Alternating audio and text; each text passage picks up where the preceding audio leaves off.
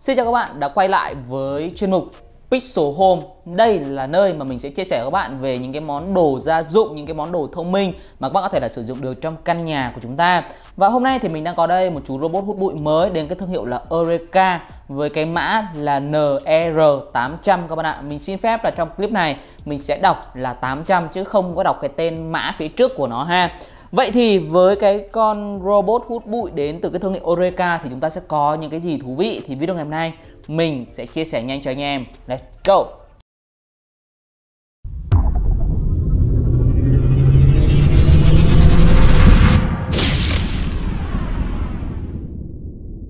Đầu tiên, nói về giá bán đi ha thì thực ra là thời điểm mà mình làm cái video về cái con robot hút bụi này thì mình cũng chả biết là nó sẽ có mức giá là bao nhiêu các bạn ạ. Thông thường thì các brand sẽ cho media à, mượn sản phẩm trước ngày ra mắt cho nên là khi nào mình biết được về giá cụ thể của nó như thế nào thì mình sẽ nốt trên tiêu đề hoặc là trong phần bình luận hoặc là trong phần mô tả của cái clip nha.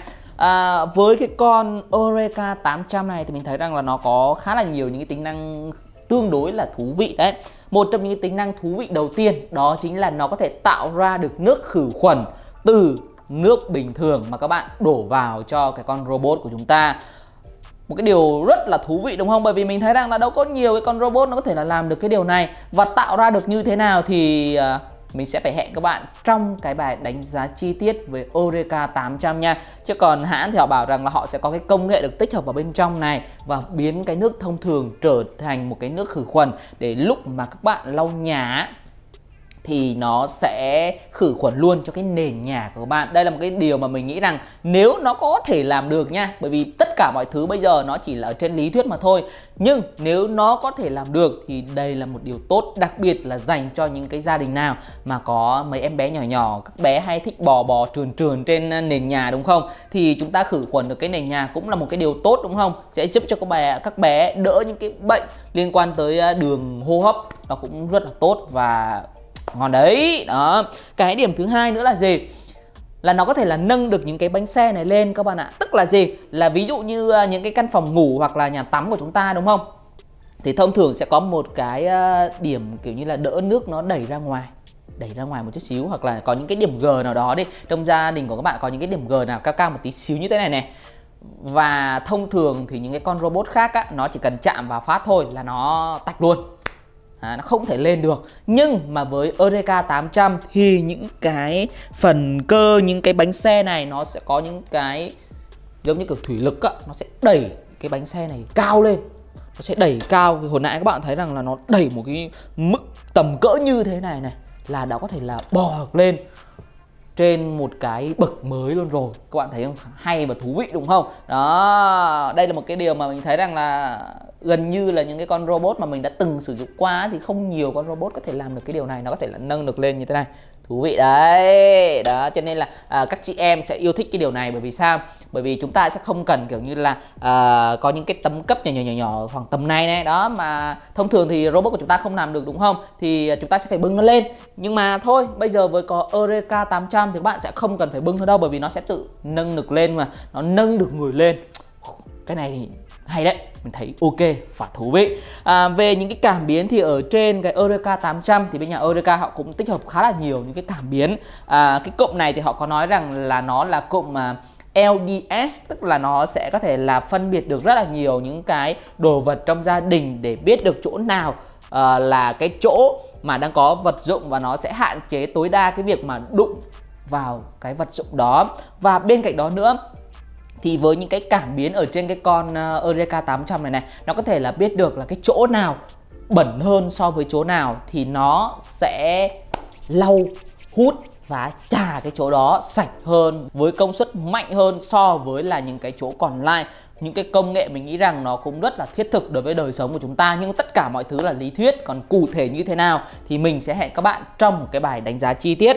Về cái phần lau nhà thì đây các bạn thấy rằng là ở phía sau á thì chúng ta sẽ có một cái à, rẻ để có thể là lau nhà ha. Về cái mức nước mà các bạn bỏ vào đây thì mình nghĩ rằng là nó cũng chỉ mức là vừa đủ thôi nó không quá là nhiều đâu. Và cái phần rẻ lau nhà này nó sẽ không phải là kiểu đi trà đâu. Nói chung là hiện tại thì à, những cái con robot hút bụi ở trên thị trường nó sẽ có ba nấc thứ nhất là kiểu như là chà chà chà chà nó nói chung là đi phát là chà luôn. Thứ hai là rung nó sẽ rung để uh, cái uh, vết bẩn nó trở nên sạch sẽ hơn. Và thứ ba là những cái con robot mà kiểu như là mấy chục triệu á hoặc mười mấy triệu á thì nó sẽ là tròn tròn nó sẽ xoay và nó sẽ đánh những cái vết bẩn ở dưới nền nhà. Và với uh, Eureka 800 á thì nó sẽ sử dụng cái kiểu là giật giật giật giật nhé các bạn. Chứ nó không kiểu là chỉ có đi qua một phát đâu mà nó sẽ có những cái uh, rung để giúp đánh bật những cái vết bẩn ở dưới nền nhà của chúng ta. Nó cũng là một cái điều khá là hay, đúng không? Còn về động cơ của Eureka 800 thì theo bên nhà Eureka thì họ đang sử dụng cái motor Johnny Dex đây là một cái thương hiệu ờ, chuyên về đồ gia dụng